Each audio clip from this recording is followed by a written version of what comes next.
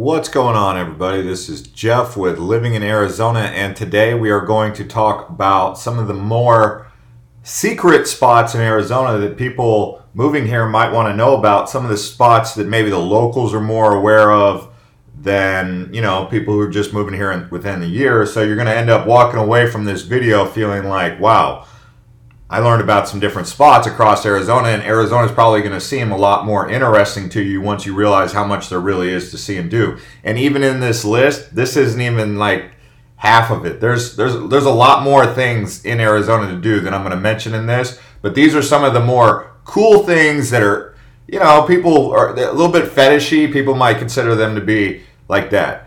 Um, I can also do a video at a later date talking about things, you know, the top things, just in case you don't know what the top things to do, like Havasupai Falls and some of those other more trendy things that there is to do in Arizona. But this one's going to focus on kind of some of the hidden gems that not everyone knows about, the secrets, right? So the first thing that I want to talk about is going to be Organ Pipe National Park. Organ Pipe cactus, okay? So these are these are different than saguaros. They look like saguaros, but this area here is one of the only places where an organ pipe cactus is is raised. It's down there in the southern part of Arizona, down on the border. So if you ever go down to Mexico, you can hit up Organ Pipe National Park when you're on your way down to Rocky Point. But this this area right now, it's closed during the government shutdown. But this place right here is a great place to hike and camp, and you just explore the beautiful beautiful desert down there. And I think it's really worth it if if you want to get to know beautiful nature, desert surroundings, go check out, look into the Oregon Pipe National um, Park. It's not that exciting, but it's it's really a great place to explore for the desert. Probably a good time to go there would be around April or October timeframe. April, May, October, September, when it's not too hot, not too cold, because it does get really cold down there, and it also gets really hot in the summer. So, uh, one of those things to think about. Another thing that's really pretty cool that people um, have been asking me about. This video comes as a matter of um, reference from people asking me, hey, can you talk about Jerome a little bit? Probably need to do a full video on Jerome, but I'm kind of setting the stage to get people to understand about this place, Jerome, and what the big ticket, what the big draw is to it, right? And so, I don't know what that thing, I'm trying a new thing with uh, screen recording, but anyway. So, Jerome, Located high on the top of Cleopatra Hill, 5,200 feet above eleva- or in elevation between Prescott and Flagstaff, is the historic copper mining, mining town of Jerome, Arizona. Once known as the wickedest town in the West, Jerome was a copper mining camp growing from a settlement of tenants to a roaring mining community. Four disastrous fires destroyed large sections of the town during its early history, resulting in the incorporation of the city of Jerome in 1899. Arizona is a new state, the Wild West. I mean, so a town that was established like this back in the turn of the century is actually in Arizona. It's considered an older town, and it's now become the largest ghost town in America. So if you're into that kind of stuff, it's up there on that hill on the way towards um, in between Flagstaff and um, Prescott, depending on which way you're coming in. But it's really worth taking a look at it. I think a lot of people, if they they could make a you know, you can go up there once or twice and, and kind of see what's going on, but you've got all types of different stories here, prostitution row, and you know, it was an old copper mining village, so lots of history in that. And Jerome, it, it really deserves its own video, and we can go more into it, but I'm letting you guys know about this place, Jerome, because it's it's people like it. I mean, I, I I, only spend about three hours when I go there, two hours, three hours, which means I have lunch and I go walk around a little bit, and that's about it. I don't I don't like hang out there all day, but it's it's it's cool to see. Another place that people don't really know about that is worth mentioning here. They know about Flagstaff and they know about Coconino, but they do they know about the White Mountains? The White Mountains are past the Mogollon Rim, and it's in an area called Show Low. As a matter of fact, I'd like to buy land up in that area over there by Strawberry, Snowflake, uh, Heber, Overgaard. That whole area up there is beautiful. They've got Pinetop Lakeside, and this this kind of countryside is. I mean, it's like the Ozarks up there meets Yosemite, kind of. And if you if you want a white Christmas, let's say you're from Chicago and you're like, hey, I want to go spend, uh, I want to have a white Christmas and be in the snow. You go up, you go up to the White Mountains, you'll be in snow. I mean, we're talking knee deep snow and beautiful pine trees and stuff like that. That's here in Arizona. I mean, it, it's beautiful up there. This is just an idea of the, some of the terrain that it looks like up there. You can see these meadows, um, kind of like Alaska a little bit, Oregon. You know, it's high country. It's just got a lot to see and do up there. So if you're if you if you're worried about these not having enough beautiful recreational spots to go that are high high alpine or high altitude, have no fear. Arizona's got that, but in particular here in um, the White Mountains. So let's go ahead and keep on moving here and go on to the next uh, subject here. The, the doorbell just rang. That was the UPS guy. anyway, so the next one that most people know about, but I felt like I should include it in this list, is Tombstone. So don't forget about Tombstone. This is another Southern Arizona thing. So when you're exploring Southern Arizona, you're thinking about Organ Pipe National Park. You're thinking about um, Tombstone and Bisbee, which I'm going to mention later on in this video. But Tombstone is where the OK Corral is. It's got a deep history. It's kind of like the the uh, Jerome environment. You know, they do these mock cowboy things. So it's got the old west atmosphere. Town too tough to die. Tombstone, Arizona. This is Earp, Doc Holliday. You guys know about these guys from the movie, The OK Corral, Tombstone. But it really is. It has a rich history. Nowadays, it's nothing. I mean, it's just it's just for show. It's if anything, it's like a it's like a reenactment place. But Tombstone at one point in time was really a boom town, and it was uh, maybe even larger than Phoenix when it was in its prime. So that's cool to know, but it's a place to check out if you want to get familiarized with, you know, spend spend a weekend driving from Phoenix down to Tucson, stay the night down there and come back, or drive down to drive down to Tombstone and then stay a night in Tucson, and then you come up to spend the weekend in Tucson and Tombstone and Bisbee. You can do it all. You know, better better hotels in t- Tucson is what I'm saying. Now, Northern Arizona has some cool places too. And this is Canyon de Chelly. It sounds like it's called Canyon de Shelly, but it's actually pronounced Canyon de Chelly. This place is basically the epicenter of the Navajo Nation. So um, you can see the beautiful rock formations. This is not the same as the Grand Canyon. This is on the other side of the state. This is closer to New Mexico than Grand Canyon, which is closer to California, Nevada.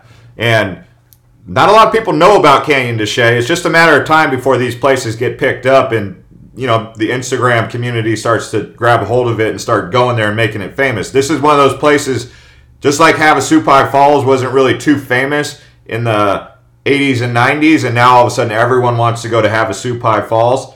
Canyon de Chelly's got the same kind of environment where there's just some amazing things down there, and th- this place right here. I mean, look at you can see the the Native American ruins that are in there. You've got I've camped down in Canyon de Chelly. It's amazing camping down there. It's on a, Na- a, Native American Indian reservation though, so it's in the Navajo Nation. That's one of the reasons it, it's hard to commercialize it. Then again, the Havasupai uh, Native Americans also have the reservation down at the bottom of the Colorado River in the Grand Canyon, right?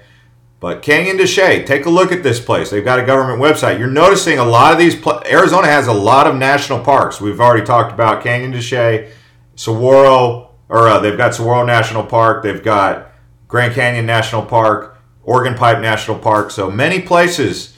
Another one that we're going to talk about is the Petrified Forest National Park. This is where you have the painted desert. You also have these trees. So Petrified Forest National Park is located in the Greater Painted Desert. So a lot of people think they got to go to Peru to see Rainbow Mountain, but Arizona has that rainbow colored dirt and you can get the painted desert right there. While the painted desert encompasses about 1,500 square miles, the park is about 150 acres and not desert. Actually, the main environment is short grass, prairie, and intermountain basin, semi-arid grassland. So it's kind of like a little bit higher than high desert. But explore the varied species that make make it home. And you've got these uh, pronghorn sheep. You've got or pronghorn, I don't know, pronghorn deer, pie t- pie whitetails. I'm not familiar with the deer.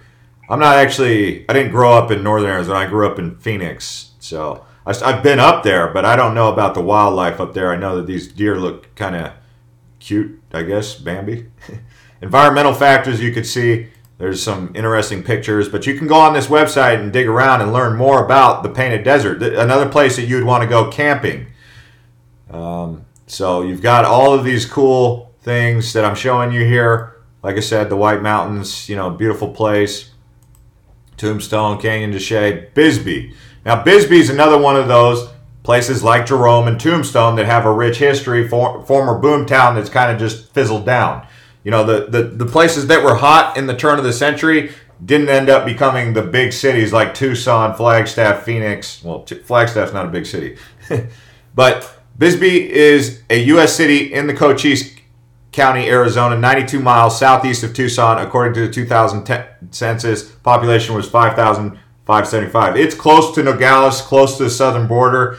So it's way down there. Again, this is in, a weekend trip or a week trip, you could do Bisbee, Tombstone, Organ Pipe, Tucson, Mount Lemmon, all that in one little journey. And you might end up feeling like, hey, the first time you went wasn't good enough, so you got to do it again. And there's a couple other things down there. There's Sonoran Desert you can explore.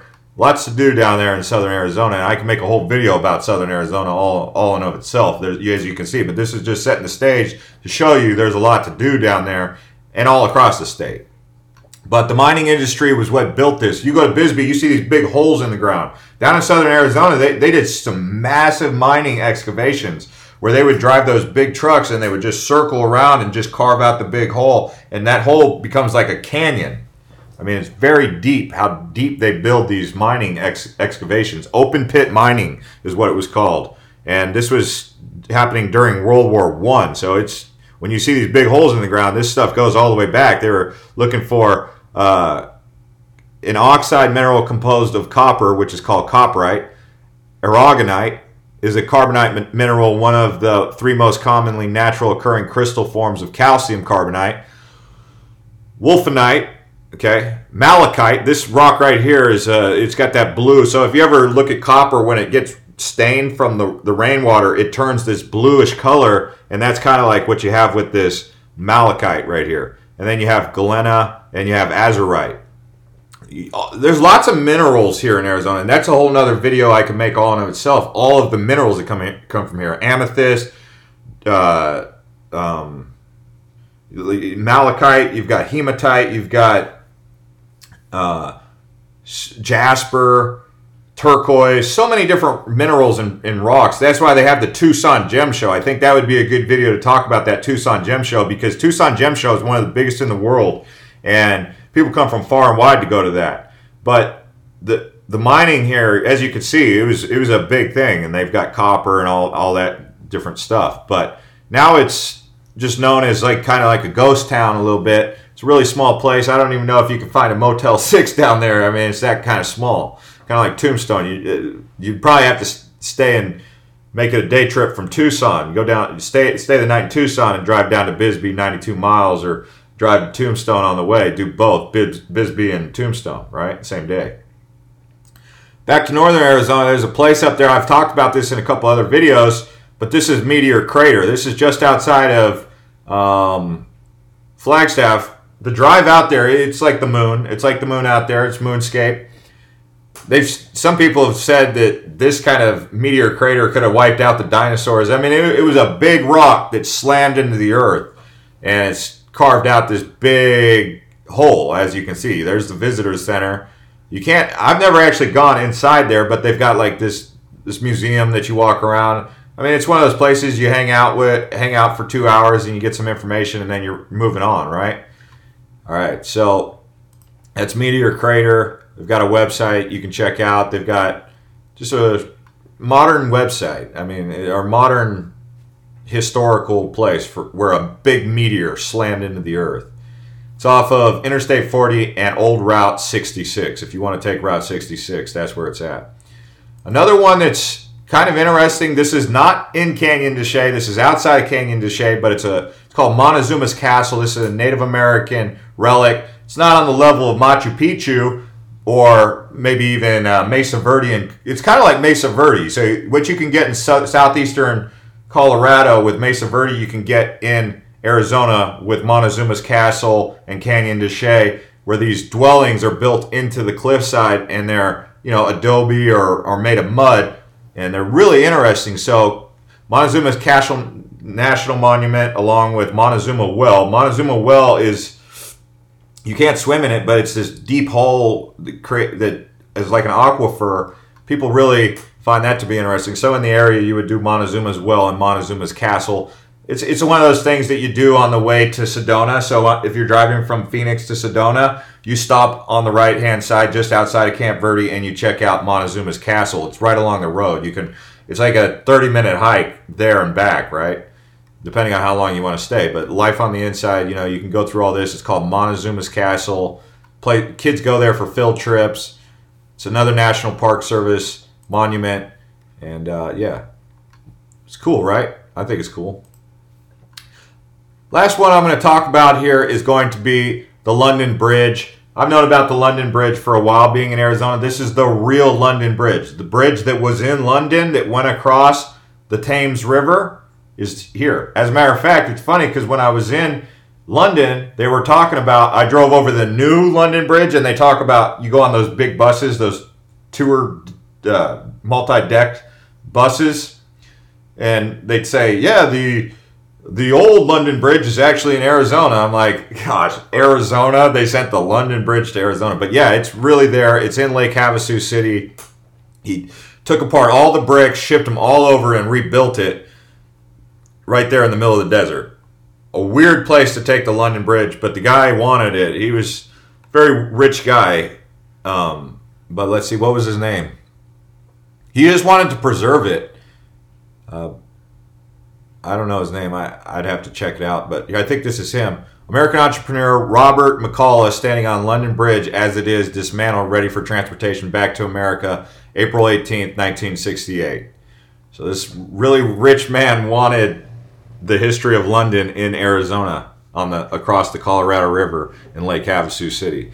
So I hope this uh, at least gives you guys some insight into some of the some of the secret things to do that locals tend to know about. It's going to make your move to Arizona a little bit more exciting because now you know there's a lot to see and do. So you're not going to be bored when you come to Arizona. Some places you're like, well, what, what is there to do? Arizona, now you know there's a lot to do. And by the way, guys, there's a lot more places. There's Roosevelt Lake with this big dam. You can drive all the way up there. There's Chinle. There's um, you know, all this air desert to explore out there by Wickenburg. You've got, I didn't even hardly even mention the area around Flagstaff or Prescott here, you know, in the Coconino National Park, that whole area, the Bradshaw Mountains, Crown King. I could probably even mention, I mean, there's so many places I could mention. Crown King is a cool place to just go up there on a day trip and explore from Arizona uh, on the Beeline Highway. You got, I didn't even mention Payson or the Mogollon Rim, but there's I can do this all in